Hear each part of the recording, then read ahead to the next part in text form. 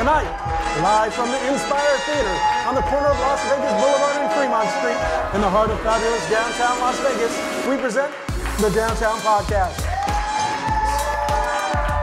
Starring your host, Dylan Jorgensen, your co-host, Bonnie Gore, Jason Outlaw, and music by yours truly, DJ Lenny Love Alfonso. Tonight's guests, renewing their vows, downtowners Heidi and Chad. Victoria Hogan. Comedy by Brandon Donnelly. And now, ladies and gentlemen, let's give it up for the man who hasn't counted half of Bernie Sanders' votes, Mr. Jason Outlaw. Hey, what's up? How's it going? Woohoo!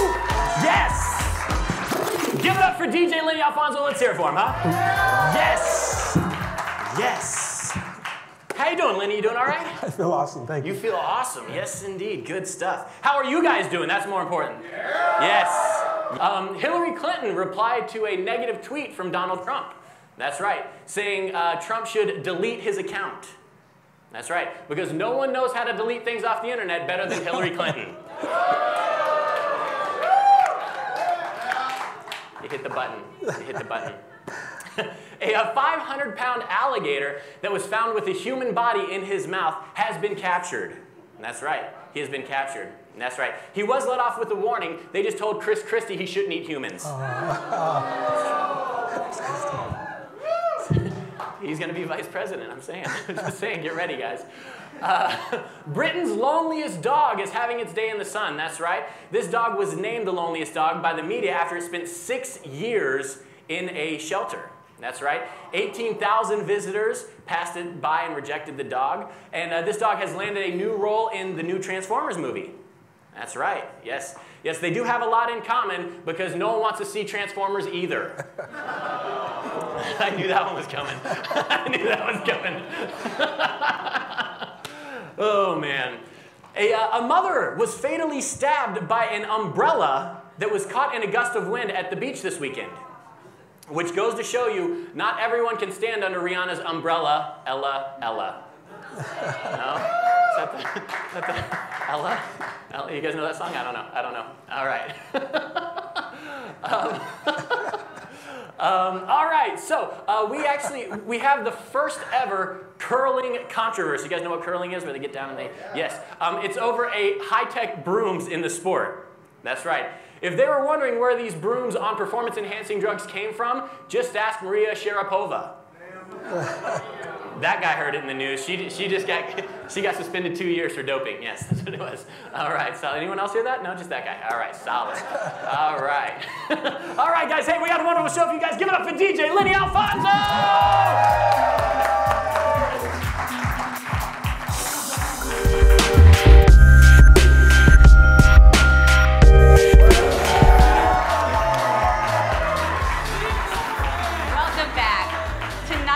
Our guest is a local entrepreneur who's a florist, a pop up wedding event planner, as well as an officiant.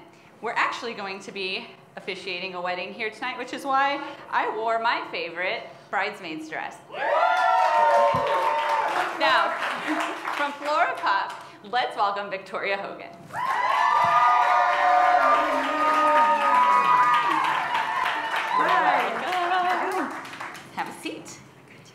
Little living room. So, you know everything about weddings, or at least the weddings that you put on, which are very cool because I follow you on social media, so I already know a little bit about you before you came on. Tell me a little bit how you got started. You you are a local entrepreneur. Was it the flowers or the wedding first? Uh, definitely the flowers first. Okay. Yeah. And your floral arrangements are beautiful. They're actually I've seen them all over town, especially at Park on Fremont, right? Mhm. That's where I got started when I when I moved back here. But my business actually started in Prospect Park, Brooklyn. Um, I used to make bouquets and ride around with my bicycle. Is that where you're from? No, I'm from Alabama. Oh. I don't know if you So can you've been all over the world. Just the United States. Oh, that's all.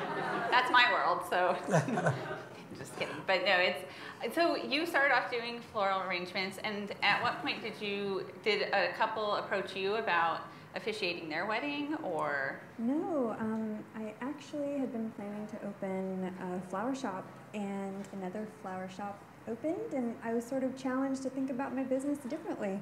Um, and I saw a gap in the market, and I decided to kind of go out on my own and do it my way. So one of the things that I really love about you, which is why I started following you on social media, and this is the first time we've met in person, is I have an obsession with vintage camping trailers. Oh, okay. Uh, and you use you use them, or at least one. You've used several though, right? I've seen Airstreams, and then you have that other cute little pop-up trailer as well. Can you talk about some of the weddings you do and kind of the culture behind it? Sure. Um, I get a lot of people from overseas, uh, a lot of Europeans, uh, Australians. Um, they're really coming to Vegas to do two things. Their, their main mission is to get married, but they're also having their honeymoon. Okay. And a lot of times they'll road trip from Los Angeles to Arizona. You know, they'll see, you know, sort of all of the national parks along the way, and then they come and meet me, and they get married in a really intimate desert setting um, surrounding Las Vegas or Palm Springs, Joshua Tree, Right. So these are some of the backgrounds. It's like usually just you and the couple, right? and the photographer. And the photographer, yeah, somebody's taking these pictures. Mhm. Sometimes uh, a few of their friends, but it's mostly under 10 people usually. Yeah, I see some beautiful shots out at Red Rock and that sort of thing as well. Um, have you had any like weird weddings? Like, have you had anybody have cold feet, or have you ever like, actually started to meet a couple and thought maybe this isn't going to work out? Never, actually, no. I think I've weeded out all the brides with cold feet, and I don't get bridezillas either. You don't get bridezillas? No. Nice. No. So yeah, you win at the event planning, I wedding just planning world, figured right? out the right formula, I think. And what is that? I mean, you don't have to Um, give away all your secrets, but um, like, what prevents that? I really thought about if I was going to get married, how would I want to do it? And I there had to be more people like me out there. Uh, so I get really chill, laid back clients. And why? Why do you do really intimate um, pop-up weddings? And why the vintage trailers? Which is personally my favorite part. So Um, well, initially I actually built the teardrop myself. Um, it's modeled after a vintage trailer, and it was Right. kind of uh, going to be my roadside flower stand. When I thought about it, it didn't really make sense. So I just put a bunch of chairs, champagne, all my fixins in there, and it's become my mobile chapel. how fun! And are you just located here in Las Vegas, or do you travel, or do you have other shops in other cities? How does this work? Well, um, I started out in Las Vegas, but it slowly turned into everywhere, like the whole United States and, and abroad. Um, Okay. I am expanding to the south, and I have my southern girl right here. All right. And my, my other right hand woman right next to her, Hi. Rachel and Holly. So you're kind of going back to your roots. You're heading back home a little bit, doing Yes. some stuff back home, and Mhm. how is the response there? Well, we're just kind of uh, starting to figure that out, but um, it's, it's in the works. So. Awesome. So, do you have a favorite story? Like, do you have any? How about a weird story? Because weddings in Vegas, everybody always thinks like, okay, it's a drive-through Elvis wedding. Mhm. Um, do you have people like have you know anything weird? Or you have unique stuff. Like, do you have anything? I mean, I would say Elvis related. I, I did a Not Elvis, or Okay. even not Elvis, like something on another spectrum. Because I think that's what people expect when they come to Vegas. Right, they expect like exactly. an Elvis. Like, Oh, there we go. Okay. There's a That's canoe? um, yeah, so I actually had a couple a few weeks ago get married in a canoe out at Lake Mead, Oh. and then they and were you in the canoe with them? Um, no, but we talked about it. It just it just wasn't Yeah, good three's a crowd. Yeah. But they jumped in the water afterwards to take the plunge. They know. did. Yeah. Oh, okay. So that was all part. Okay, I like that. Did you get in the water? Or you just I did. You did too. The photographer did too. So I mean, I'm not. See, that's fun. I would. I think that's a lot more fun than going through the drive-through with Elvis, which is fine too. But Right. I think that's super cliche. Everybody comes to Vegas is just like, oh, wear a super bright pink, you know, dress and get married. Right. I mean, that's fine too. I'll take those clients, but I typically don't attract them. So Right. you know. And how? What, how do you attract the clients that you get? You know, I as far as advertising goes, I, I, I don't really do any other than social media. It's just kind right. of word of mouth or blogs. But I just attract a lot of like-minded people. I can honestly say that every couple I've worked with has become friends. So we're going to uh, have a real wedding here on the show up next. Right. I am the maid of honor, and I am proud to be. So, I'm, Victoria is actually going to be officiating the wedding right here before your eyes. You guys are all going to be witnesses. So speak now or forever hold your peace. And um, if people want to find you, if rather you know, can, so can somebody find you to get flowers and or do a wedding, or are you just mostly weddings? I, I do both. Okay, so how can someone find you if they want to want to contact you? Florapop.com. Florapop.com. All right, Victoria, I'll see you in a little bit at the wedding. All right.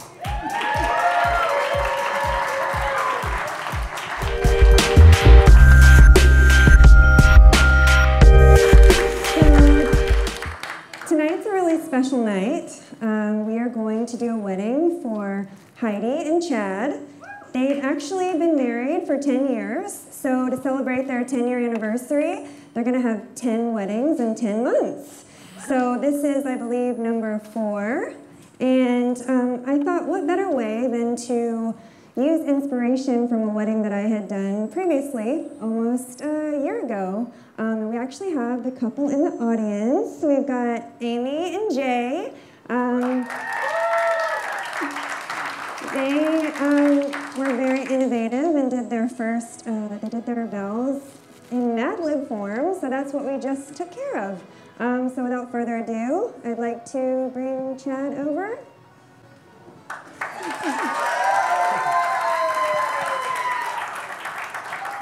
Closer. I'm not too scary, I promise. and the rest can begin too.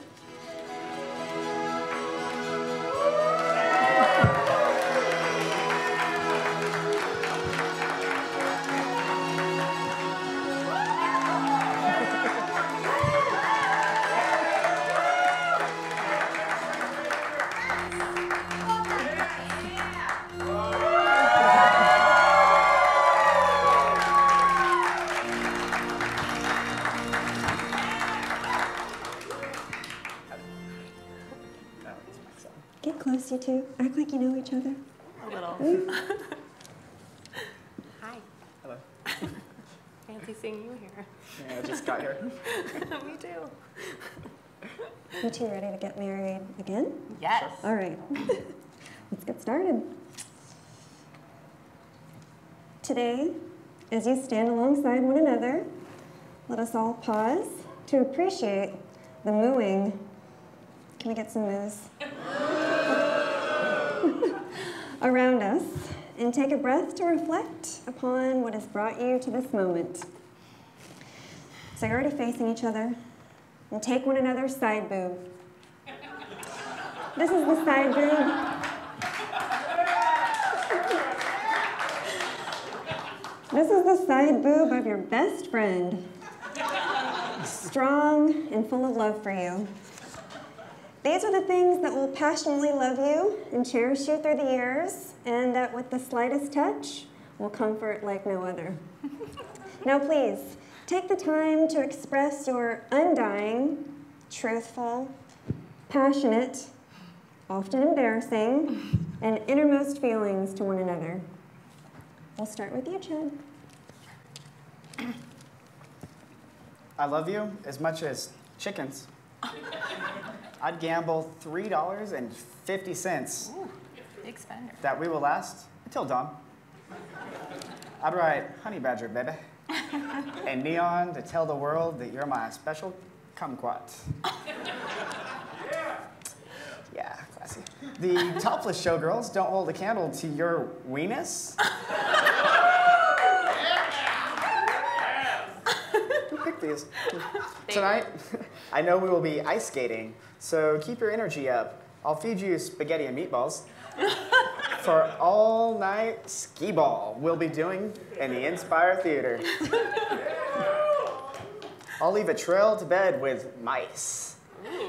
And I'll make a heart out of concrete to show my love for you. I'm honored to be your number 23. Yes. Man, and someday, if the rapture happening, I might even let you win an argument. Hmm. Yes. All of them, in fact. Sure. My turn? Yes. Okay, let's see what happened here. I love you as much as bunnies. I'll be there for you when you get so old that your eyes droops and sags. I promise to always play bingo while you are cleaning the litter box. We don't have a cat. and lovingly look into your eyes the entire time, never looking away, not for a moment. Your most fantabulastic in the morning when you first wake up. So handsome. I can't wait to have our first dance to the thong song.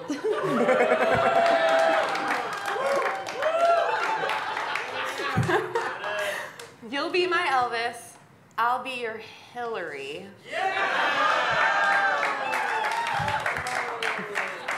We may not be suited for horse husbandry, but we sure are suited for each other. I will love you from this day forward, in sickness and in health, until death do we part, unless you turn into a bumblebee. Then I am absolved of this binding contract.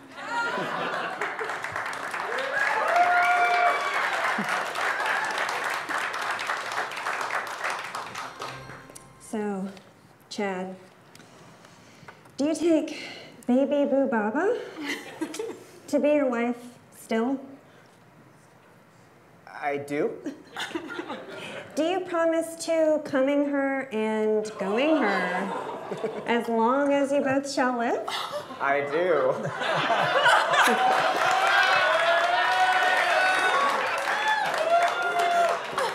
My parents are gonna watch this. oh well. So, Heidi, Yes. I sort of changed this a little bit. Uh 'cause oh. Do you take Chadley Lovey Lover to be your husband still? Sure. Do you promise to deep sea dive with him and swipe right as long as you both shall live? Yeah. Yeah. Well, in that case, as sure as I am standing here, and by the power vested in me by the Downtown Podcast,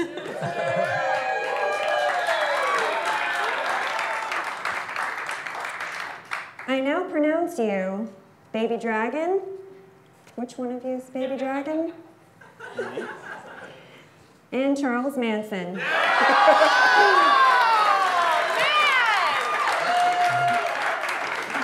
but please, uh, most importantly, you must remember that whatever twerks in Vegas stays in Vegas. All right. I guess we're staying here then. You may kiss your Charles Manson. There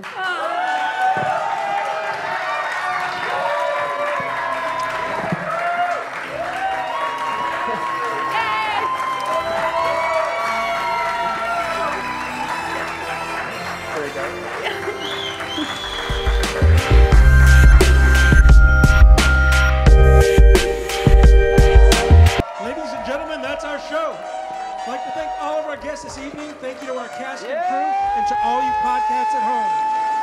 Remember, you're all welcome to be a part of our live studio audience every Thursday night, 9 p.m., right here at the Inspire Theater.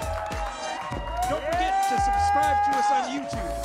Like us on Facebook, Instagram, at Downtown Podcast. Thank you. Salamat. Salamat. Peace. Love. And be kind to one another.